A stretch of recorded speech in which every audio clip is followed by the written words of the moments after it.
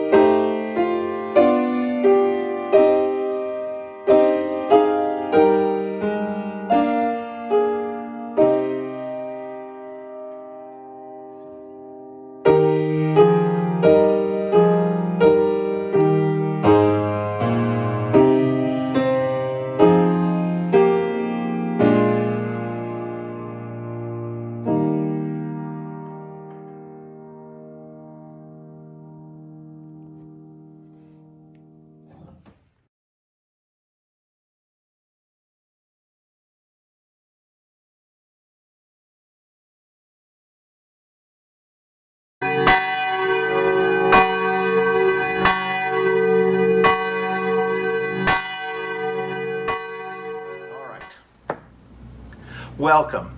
My name is Reverend John Van Nuys, and I'm the pastor of Wabash Avenue Presbyterian Church here in Crawfordsville, Indiana. On behalf of our church family, our church board, the session, our deacons, and every person in this congregation, we welcome you to this virtual service of Christian worship. Although this pandemic has separated us spatially, we are nonetheless present spiritually together because the Holy Spirit has made us one in Christ. So let us now come before the Lord in worship. Our call to worship is Psalm 85, verses 8 through 13. God speaks peace to the faithful, to those who turn to God in their hearts. Surely salvation is at hand for those who fear God. Where God dwells, steadfast love and faithfulness meet. Righteousness and peace kiss each other. Faithfulness springs up from the ground, and righteousness looks down from the sky. God gives what is good, and we respond with praise. Our opening hymn, which is sung by our choir director, Jennie Fights Swick, is We Gather Together.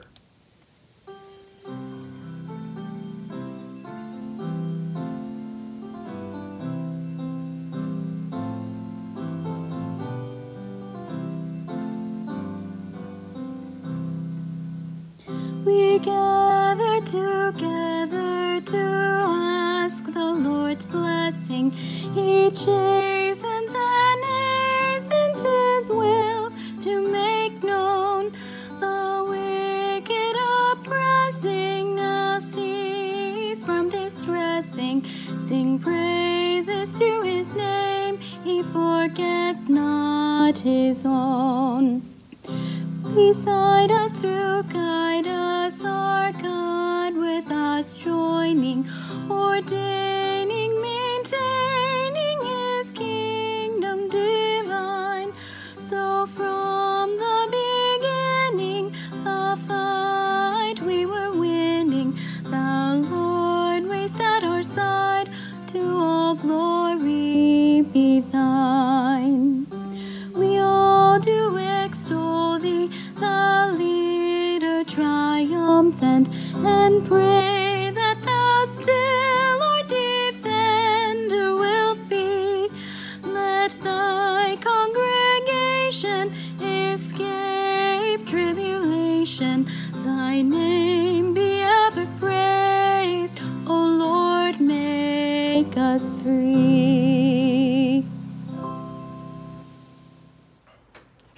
call to confession.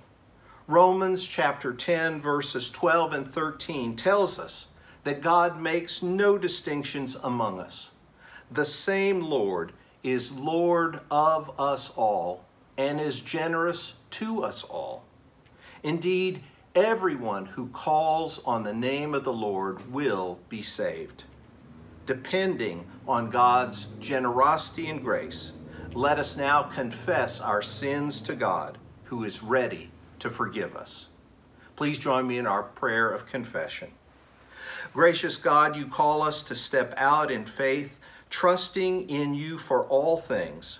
We respond to your command, but then sink in doubt and fear.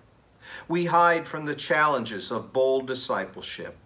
We're not able to fulfill your commandments, for our purposes are never in full accord with yours. Forgive us, we pray, when we confess with our lips, but do not believe in our hearts. Help us to practice our faith in all circumstances. Lift us out of sin and into the arms of your mercy. In Jesus' name we pray. Amen. Let us now continue to confess our sins in silence.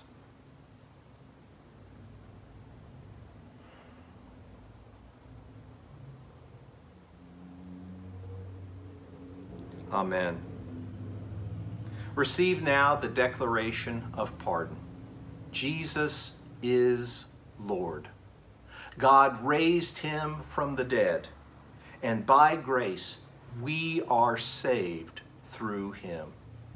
Friends, believe the good news. In Jesus Christ we are forgiven. Let us now join together in our prayer for illumination. O oh God, tell us the truth we need to hear, show us the way we need to follow, and grant us the life we need to live. Open our hearts to your word today. Amen. Our scripture today comes from Luke chapter 17, verses 11 through 14. So listen now for God's word as it speaks to you. Going to Jerusalem, Jesus passed between Samaria and Galilee. As he entered a village, ten lepers approached. Keeping their distance, they cried, Jesus, Master, have mercy on us. Seeing them, Jesus said, Go and show yourselves to the priests. And as they went, they were made clean. This is the word of the Lord. Thanks be to God. Recently, I received an email containing a coronavirus prayer.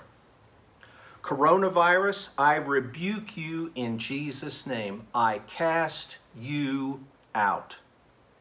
Be gone.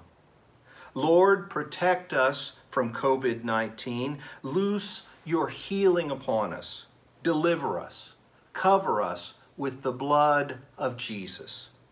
The Bible says that by his stripes we are healed. So we call down your healing powers today. Heal us all. Thank you for hearing our plea, which we pray in Jesus' name. Amen. The email asked me to pray this prayer and to pass it along, which I'm doing now with this important P.S. God will absolutely answer this prayer as we act with God to make it so. You know, sometimes you pray about things that are totally beyond your control. For example, you pray asking God to help a friend make the right choice. You can talk with your friend, encouraging him to do the right thing. And God will speak to your friend through the Holy Spirit, encouraging him to do the right thing. But God respects human freedom. And God isn't going to force anyone to do anything. So, what they choose or to do or not choose to do, that is entirely up to them. We can't control them, and God won't force them. Sometimes you pray about things that are totally beyond your control. And sometimes you pray about things that you can control. You ask God to help you, for example, to forgive someone who's hurt you. Forgiving someone who doesn't deserve to be forgiven is hard, but God will help us. God always helps us do what God has asked us to do. Sometimes, you know, we pray about things that we indeed can control. And then there are times when we pray about things that we can't control, but which we can influence. We can't control the outcome, but we can influence the outcome. For example, when a couple is expecting, they can pray, Lord, help this child be born healthy. That's a good prayer and one that we can trust God to answer. And part of the answer God is going to bring about is through us. Through expectant mothers eating right, getting proper prenatal care, and following doctor's orders. Expectant dads can also actively help to make a pregnancy go well. There are some situations that are beyond our control, but are still within our ability to influence. In these situations, God will answer our prayer through both God's help and our help. This pandemic is one of those situations. When the Black Death swept through Europe, medieval people could only pray. They knew nothing about science or viruses or even about hygiene. Thank heavens in this pandemic, we have the facts. We know exactly what causes COVID 19. We know how it spreads, and we know how to stop it. We're horrified, yes, by the death toll. And we're scared on top of that. But we have hope. We have God who will help us. And we know exactly what to do to work with God to cast out the coronavirus. We can work with God by wearing a mask. We can work with God by socially distancing ourselves. We can work with God by obeying the civil authorities who rightly instruct us what we must do to live. We can work with God by calling our representatives and asking them to ensure that everyone has all the resources they need to live. Calling up our representatives is part of the answer to the prayer calling down God's healing powers. God is counting on us to do what we can do to work with God to defeat COVID 19. When Jesus healed the 10 lepers, he didn't just miracle them well. No. They had to participate with Jesus in the miracle that he sought to give them. When they pleaded for healing, Jesus said, Go and show yourselves to the priests. And as they went, they were made clean. As they went, as they did what Jesus told them to do, as they obediently, faithfully participated in the miracle Jesus was doing for them and with them, they were healed. Our prayer is to be free from COVID 19. That's God's prayer too. But for that prayer to be answered, for that healing to happen, we have to work with God to make it happen.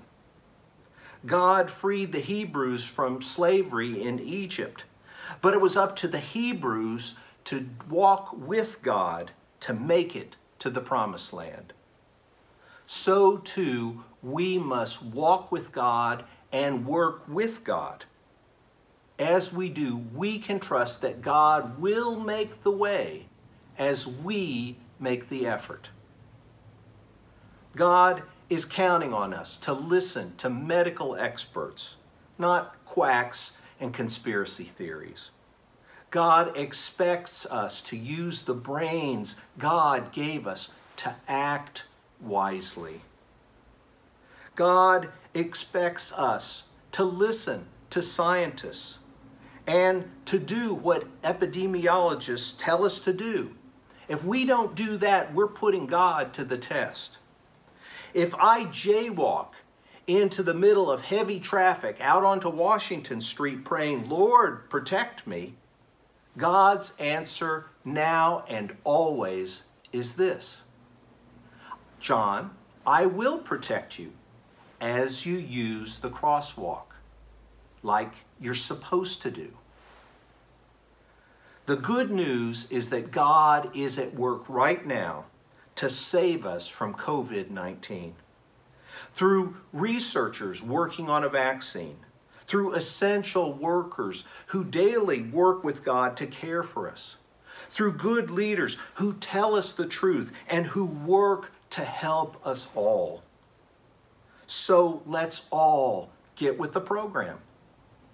Let's get with the program by praying to God and by acting with God to co create the miracle that's going to kick COVID 19 to the curb. As we do, our prayers will be answered and God's will will be done. Let us pray. God of power and love, you're with us in every circumstance of this life. We thank you for your steadfast faithfulness. We thank you for the gift of your peace, which comes to us even in times of chaos and fear, trouble and doubt. We thank you for your merciful arms that grasp us when we are sinking, for your powerful word that coaxes us even when we're hiding and afraid. Help us to trust you and work with you for your salvation to reign and your kingdom to come. We ask for your power and love to overwhelm the chaos of the nations. In every place of war, division, and pandemic, send your encompassing shalom, healing, and peace to restore and repair all that is torn, broken, and ill. We pray that all hostilities will be ended and all maladies defeated. Give us faith and courage to follow Christ so closely that divisions are dismantled and reconciliations are accomplished, so that your perfect love may cast out all our fear. Increase mutual understanding and a sense of unity in our community in this congregation and in the church around the world. In our personal relationships, bring healing where there is estrangement and hurt.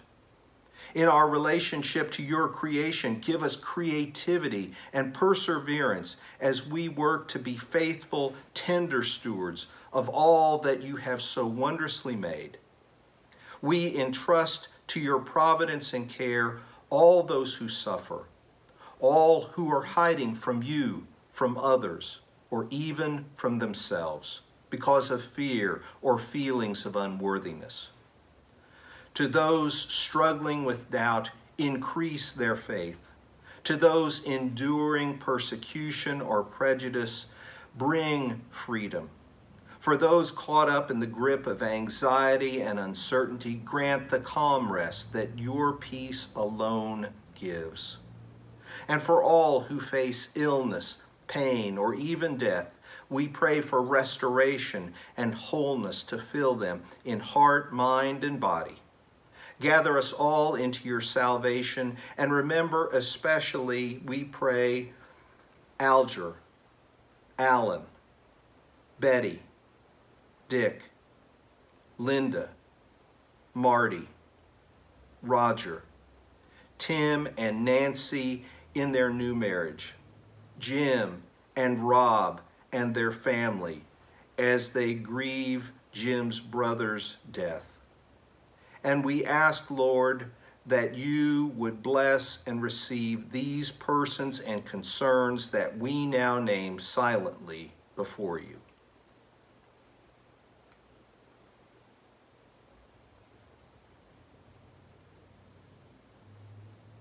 Oh God, we thank you for receiving our prayers and for receiving us as your forgiven, redeemed, and loved children.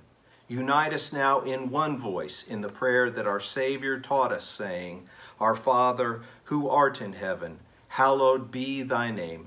Thy kingdom come, thy will be done, on earth as it is in heaven. Give us this day our daily bread, and forgive us our debts as we forgive our debtors. And lead us not into temptation, but deliver us from evil. For thine is the kingdom, and the power, and the glory forever. Amen. Our closing hymn is God of grace and God of glory.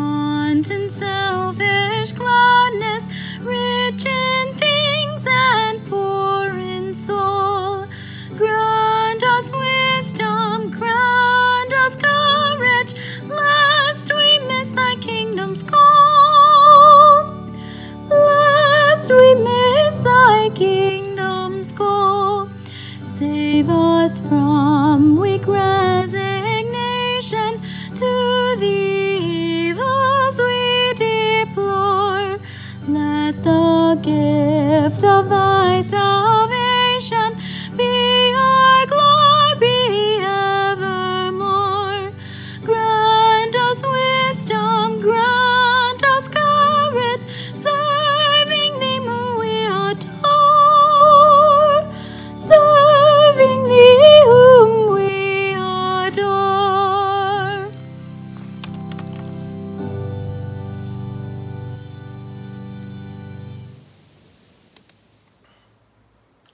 receive now the charge and benediction. I charge all of us to remember in this pandemic and in whatever other problem we face now or in the future, from now to kingdom come, God will make the way as we make the effort.